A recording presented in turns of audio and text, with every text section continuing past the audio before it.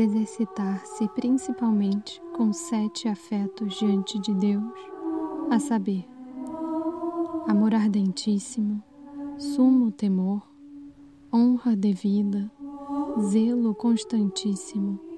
A estes deve-se unir ação de graças e louvores, pronta e total obediência.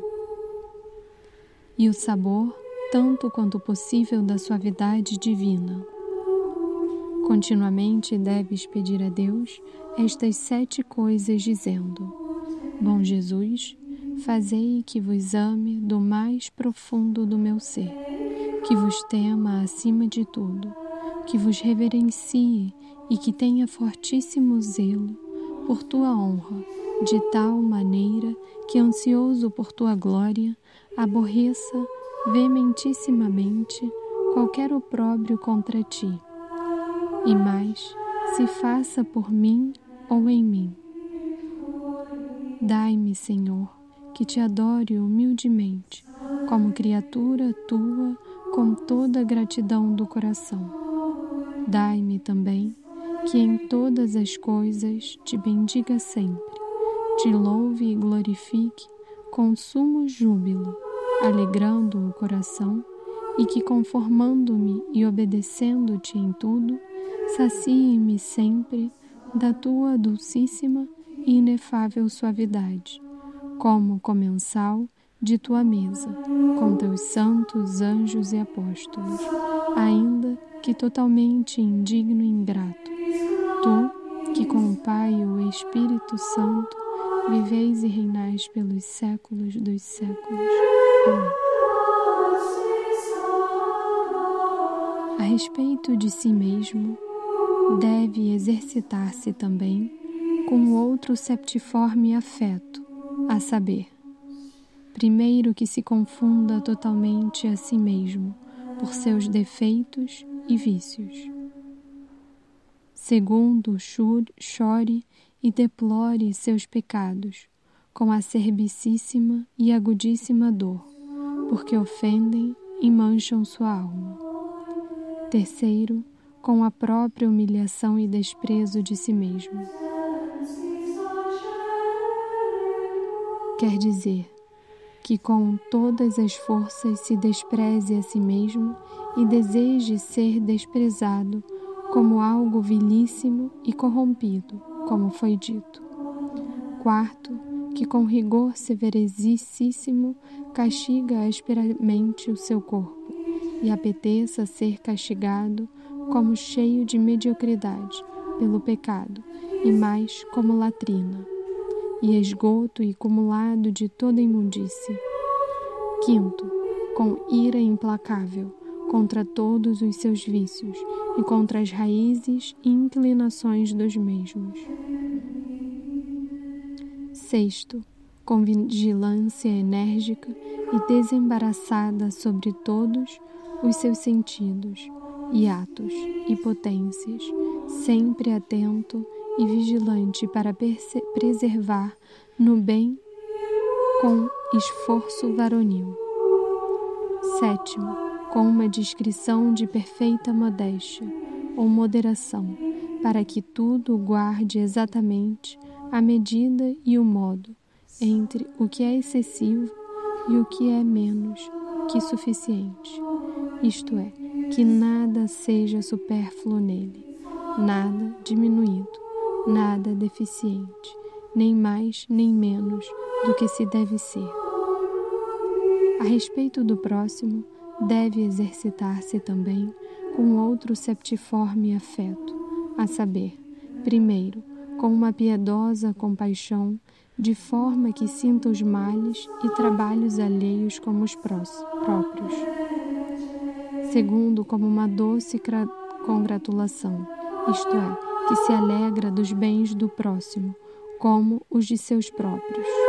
Terceiro, com uma tranquilidade acolhida e indulgência, isto é, tolerando pacientemente e perdoando de coração, esquecendo as moléstias e injúrias que lhe causem os demais. Quarto, com uma benigna afabilidade, é dizer que seja benigno para com todos e deseje todos os bens e os viva para todos, mostrando-se assim em gestos e palavras.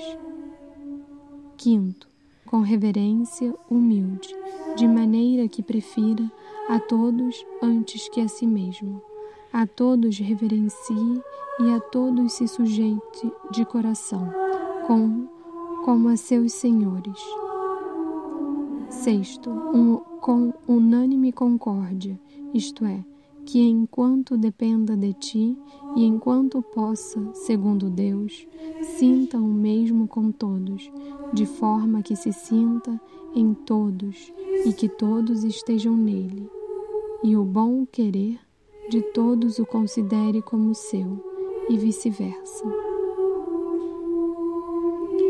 Sétimo, mediante uma cristiforme oblação de si mesmo por todos, isto é, que a imitação de Jesus Cristo esteja preparado solicitamente a entregar a sua vida pela salvação de todos, e orar dia e noite e trabalhar para que todos sejam inviscerados em Cristo e Cristo neles.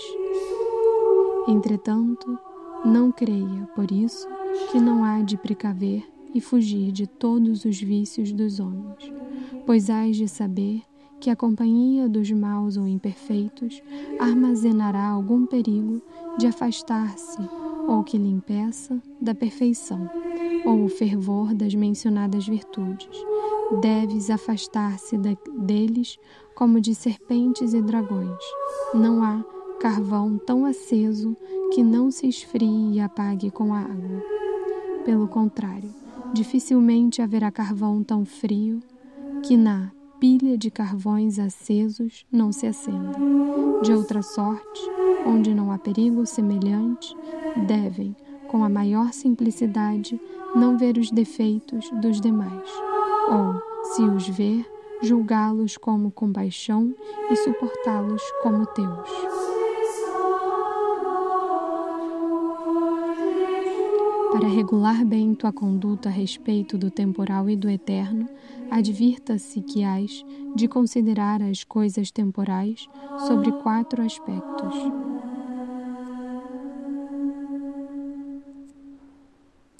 Primeiro, que, como estrangeiro e peregrino, sintas todas as coisas como estranhas e alheias, até o ponto que tua roupa seja tão estranha ao teu sentido como se estivesses na Espanha ou na Índia.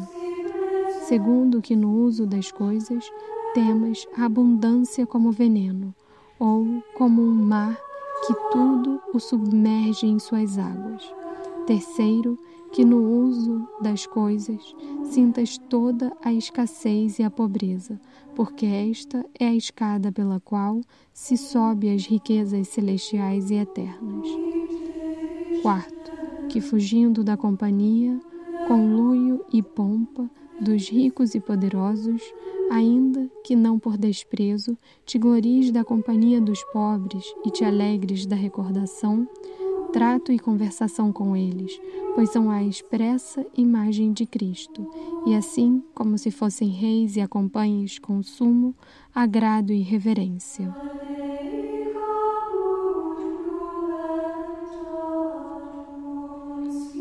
São Vicente Ferrer rogai por nós.